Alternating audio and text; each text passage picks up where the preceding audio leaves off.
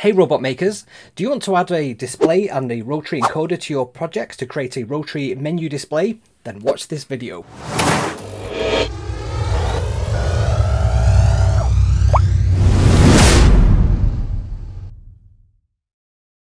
So what we want to create is a little menu system.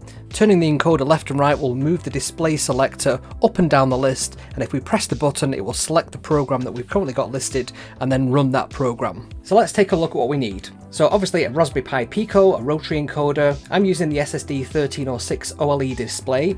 Um, you can use other displays, this is just the one I'm familiar with. A couple of DuPont cables and I'm using two breadboards there just to hold everything in place. So wiring up is quite straightforward. The display uses I squared C, so we just need to wire up the ground, the voltage, the data and the clock to the Raspberry Pi Pico, and the data is on pin 0, the clock is on pin 1, and the voltage goes to the 3.3 voltage out on the Pico. And then for the rotary encoder, it's the button pin pin, the direction step, and there is two grounds as well. So they're going to pin 16, 17, 18, and the ground that's in between those. So let's have a look how this display is going to work. So the display itself is made up of 64 pixels by 128 pixels wide, and that means that if the line height of the text is about 10 pixels, we've got about six lines to play with. The total number of lines there is a variable, we're going to store six in that, and that can change if we have a different size display. The width is 128, the height is 64, and then the line height is the 10 pixels per line. So next up there's a rectangle function that we can use within the frame buffer function and it starts at the top left with 0, 0 as the x and y and then there's two other parameters we need, width and the height and then finally the colour which on our case is either black or white, 0 or 1.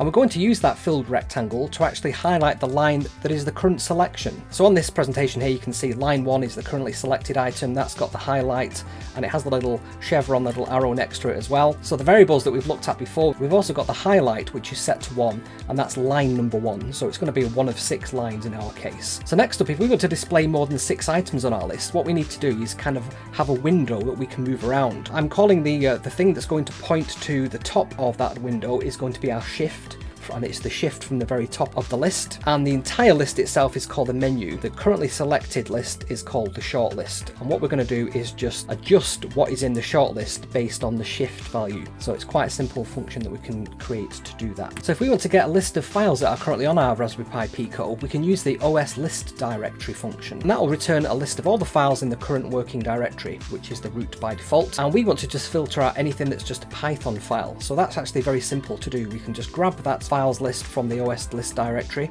And then for each file in that files list, because it's a dictionary, we can say if that file ends with .py, can then append that to, to another dictionary that we're calling menu. And that menu will be the full list of all the files that we want to be able to run from our menu system. So how do we actually run a Python file? Well, this is quite simple as well. We just use the exec function. So if we say exec open file name .read, it will actually open up that file and then execute the contents of that file.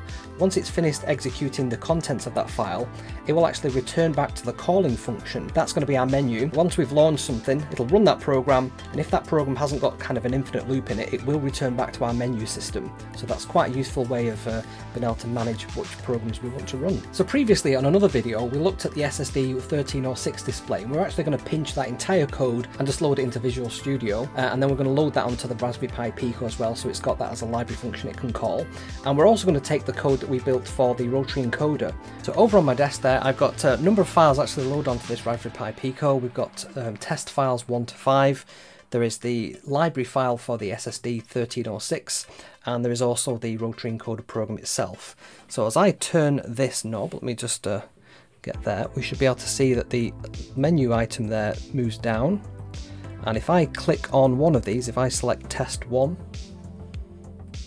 and I press the button, we can see there it says launching test 1 and test 1 simply just displays the text test 1 so we can see that that's worked. And then we can also see that it's just returned back to the menu program. So if I scroll further down watch the very top item there which is rotarydisplay.py. that's going to scroll off the top as I scroll to the very next item on the list there. So I'm now on test 5 and then as I scroll back up I'm turning the menu item back there. We shall see that we then get that rotary.py back on the top list there. So if you enjoyed this video, why not consider subscribing to the channel? Uh, you can also give me a like if you like the video, you can comment, that also helps with the algorithm. And um, if you hit the bell, you get notified next time I do a video. You can also check out smarsfan.com, which is a website that I host uh, full of tutorials about small robots.